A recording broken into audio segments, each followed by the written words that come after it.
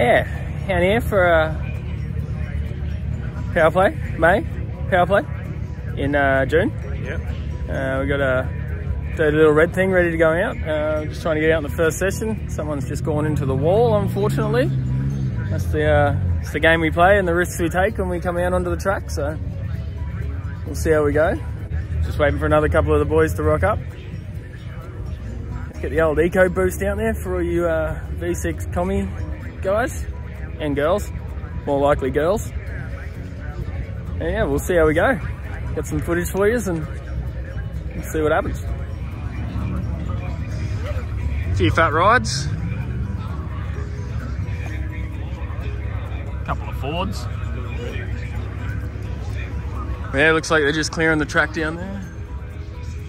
So we'll uh, we'll go get into it. Just going back out for, the next cruise session. First cruise session. Just got all G'd up. Just cleared the track from uh, an incident, so see what happens. Fire this old girl up and well, EcoBoost decided to show up. Just changing tyres. I've just had a bit of a fueling issue with one bad badge. EG, sorry. Uh, we're just gonna just change the linkage to the secondaries so it's opening a bit earlier, get a bit more fuel into it. But the new, it's got new diff gears in it. It's running three, four, fives now. That was pretty good. So we're, uh, yeah, we're just setting up. Get it going.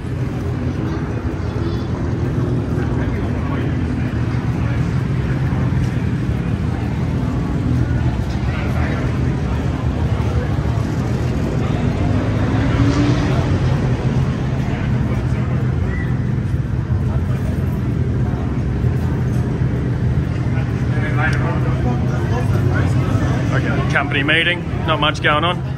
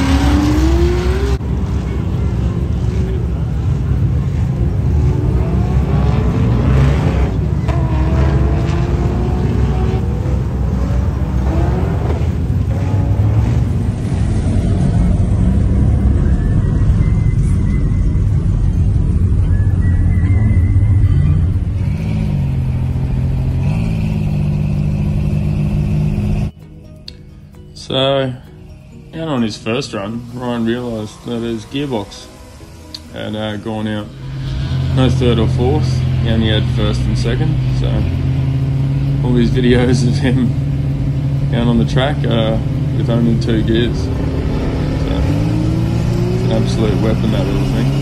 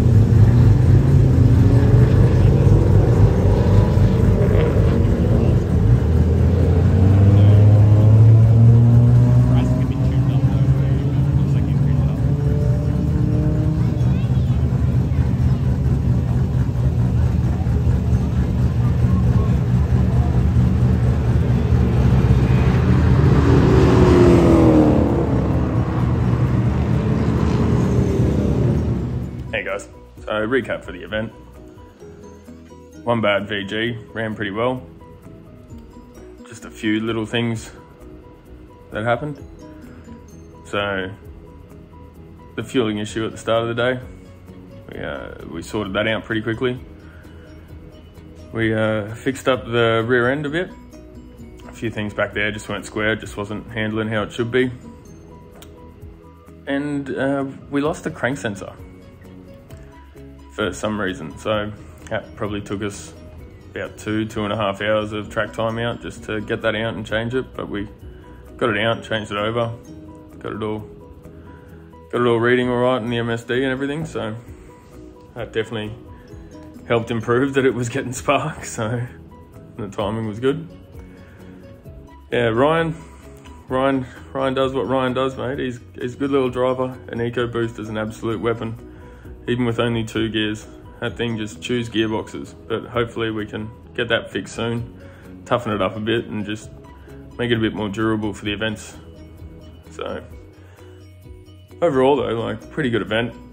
At the end, you would have seen um, Brett's video where one bad VG was uh, told to exit the track due to excessive smoke, which I don't understand. Ryan then maybe half an hour later received the same thing and they took their bands off them for the event.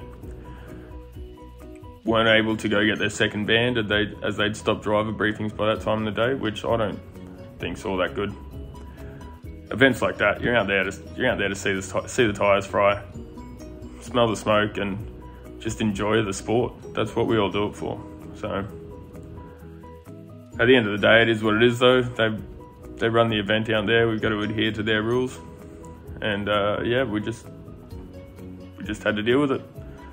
So we went well. Ryan Ryan does what Ryan does. Brett's car, we got we got a lot of the gremlins sorted out for that. So overall, pretty happy with how it went. But yeah, you guys, let us know. Leave, leave a comment down below let us know whether or not you thought that was excessive smoke that uh, required required the boys to hand in their armbands. But yeah, leave a leave a like, comment, subscribe. Just let us know. We'll uh, we'll keep you in the loop. We got big things coming. A couple of boys. Uh, if you follow them on social media, you know you'll see we got a we got a couple of big things in the mix. But yeah, stay tuned, guys.